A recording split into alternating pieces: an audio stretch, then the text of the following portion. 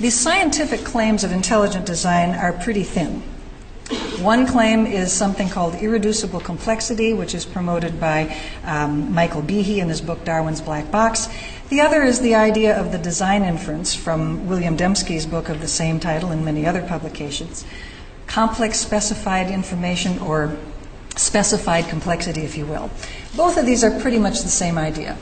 At heart, uh, these two scientific ideas, in terms of, of their definition, refer to the fact that there is terrific complexity in nature and that this complexity is unexplainable through natural causes, uh, either because of its complexity in, in Behe's terminology or because of its improbability in Dembski's probability or Dembski's uh, uh, parlance.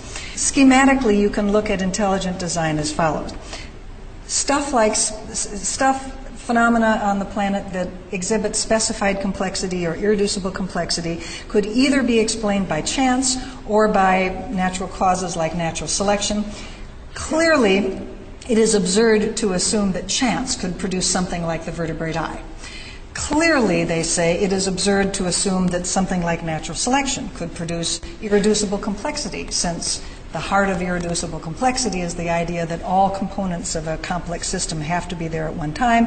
Therefore, they couldn't be put together incrementally, which is what natural selection requires. Therefore, say the intelligent design proponents, intelligent design is the explanation for this phenomenon. Now, it happens to be the case that scientists disagree that natural selection is incapable of explaining these things. I mean, the intelligent design promoters are just simply wrong when it comes to understanding natural science. Most scientists also disagree profoundly that intelligent design is a scientific idea whatsoever. We all agree chance does not produce complexity. if you are unsure about that, please be assured that evolution is not a chance phenomenon natural selection, which is the major engine of, of evolution, is adaptive differential reproduction. There are chance elements involved in the production of the genetic variability upon which natural selection operates, but natural selection is not a chance um, process. A major misunderstanding about evolution. So basically, what the intelligent design people are saying is that chance and scientific processes, chance and, and evolution, can't explain something, therefore, intelligent design explains it. Where have we heard this before?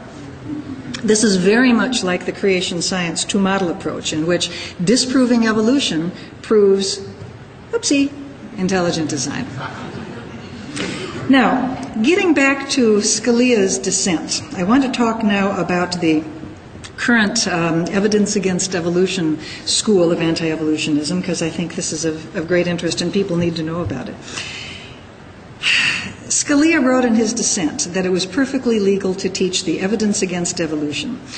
This was seized upon immediately, literally the month after the Edwards decision came down by the Institute for Creation Research. Wendell Bird wrote that School boards and teachers should be strongly encouraged to at least stress the scientific evidences and arguments against evolution in their classes. Not just the arguments against some supposed evolutionary mechanism, but against evolution per se, against the idea of common ancestry. Even if they don't wish to recognize these as evidences and arguments for creation. Evidence against evolution proves creationism. That is the way these people think, and that if you understand that, you'll understand why they are proposing the kinds of laws and, and regulations that they propose these days. Now, in this uh, quote from the um, ICR uh, Impacts newsletter, uh, Wendell Bird is talking about school boards and teachers. Something happened in the late 80s and 90s that uh, gave a new window to anti evolutionism, and that was the establishment in the United States of science education standards. This was actually a product of the Bush 1 administration.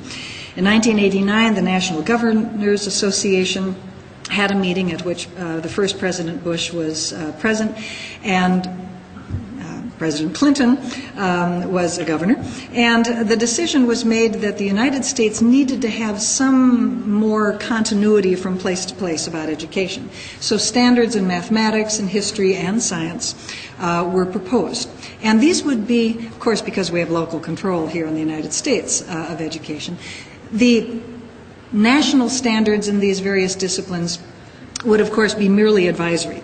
But it did stimulate a great deal of thinking throughout the 90s. Uh, the National Science Education Standards, the kind of yellow document there, was prepared by the National Academy of Sciences uh, through a great deal of consultation with master teachers and scientists all over the country. A very long process of critique and consensus for about four years so that everybody was pretty much on the same page. And then the National Science Education Standards, even if they weren't uh, required to be adopted by the states, tended to be cloned by the states simply because all of the state education officials were involved in this process. It was a very smart way of doing it, much smarter than the history standards that really ran into a buzzsaw. So, most of the state science standards require the teaching of evolution. Most of them use the E word. Um, but even if the word evolution is not there, the concept of common ancestry and, of course, natural selection and adaptation and so forth are in the science education standards. Now, if you're a creationist, you're seeing evolution coming into your um, into your uh, uh, science education standards, you're going to want to do something about it.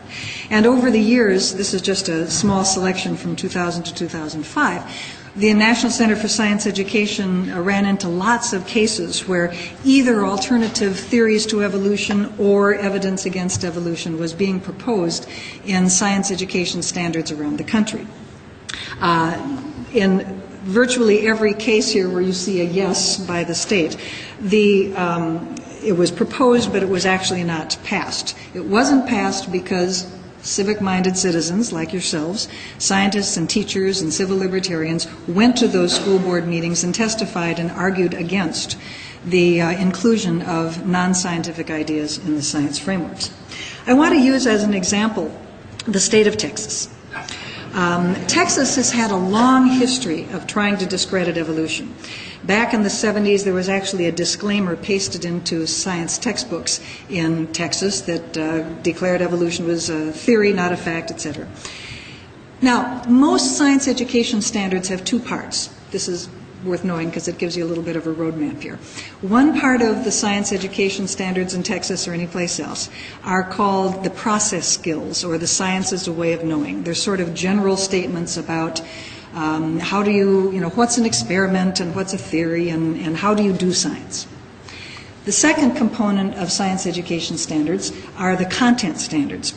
In physics, you teach optics and you teach the concept of mass. In um, uh, biology, you teach, you teach cells and you teach evolution. So the two different sections of the standards are a bit different and um, uh, they refer to different things. The standards of each state are devised by a committee of teachers and scientists that's appointed for that purpose.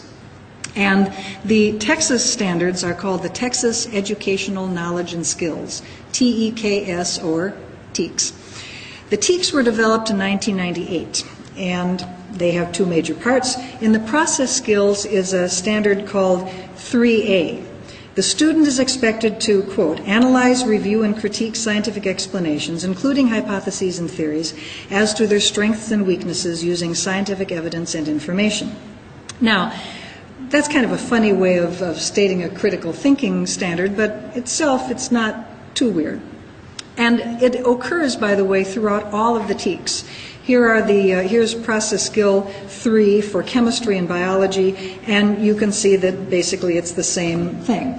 Um, I'm not sure I can read that. Um, analyze, review, and critique scientific explanations, including hypotheses and theories as to their strengths and weaknesses using scientific evidence and information.